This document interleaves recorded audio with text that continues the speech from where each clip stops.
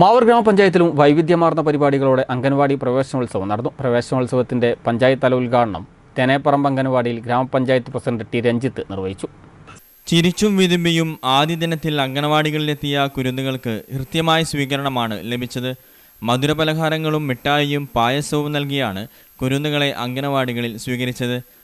വർണത്തോരണങ്ങളും ബലൂണുകളും കൊണ്ട് അലങ്കരിച്ച അങ്കണവാടികളിൽ ആഘോഷപൂർവം നടന്ന ചിരിക്കിലുക്കം പ്രവേശനോത്സവത്തിൽ ജനപ്രതിനിധികളും രക്ഷിതാക്കളും സാംസ്കാരിക പ്രവർത്തകരും അണിനിരന്നു.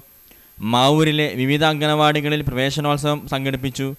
പഞ്ചായത്ത് തല ഉദ്ഘാടനം തെനപറമ്പ് അങ്കണവാടിയിൽ ഗ്രാമപഞ്ചായത്ത് പ്രസിഡന്റ് ടി. രഞ്ജിത്ത് നിർവഹിച്ചു.